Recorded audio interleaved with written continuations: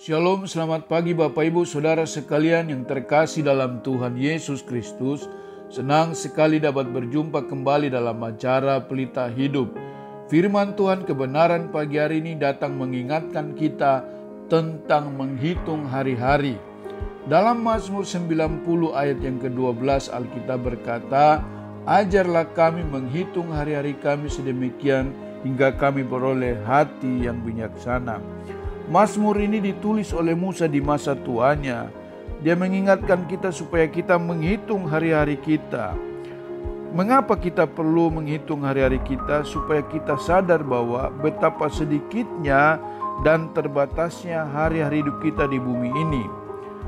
Ada sebuah kesadaran yang konstan akan sementaranya hidup di bumi ini dan bagaimana saya berpikir untuk meresponi dan hidup di dalam mengasihi Tuhan dan tidak fokus kepada diri sendiri.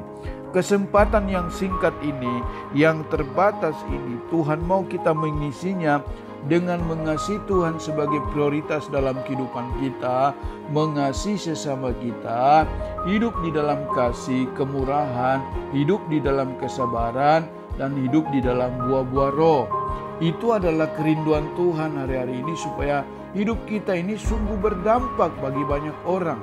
Apalagi di tengah-tengah situasi kondisi yang sedang kita alami hari-hari ini adalah kerinduan Tuhan dari kita supaya hari-hari yang kita lalui ini kita hitung, kita beri hidup kita ini sungguh bermakna.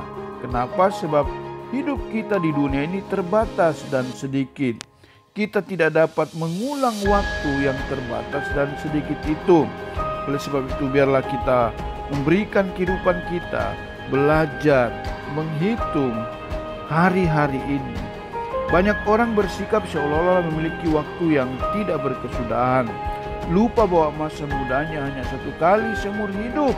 Lupa bahwa kesempatan hanya datang satu kali saja.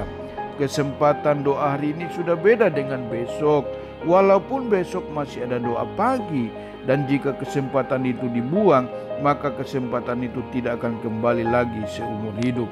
Jadi mari tingkatkan iman kita, tingkatkan doa kita. Mari kita belajar untuk menghitung hari-hari kita sebab hari-hari kita di bumi ini begitu singkat.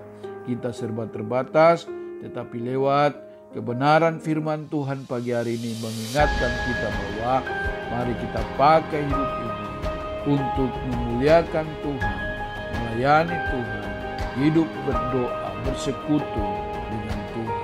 Shalom, selamat pagi. Tuhan Yesus memberkati kita semuanya. Amin.